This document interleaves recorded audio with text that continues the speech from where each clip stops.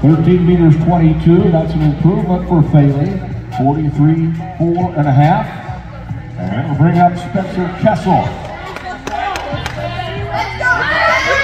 Relay champion, the shot put.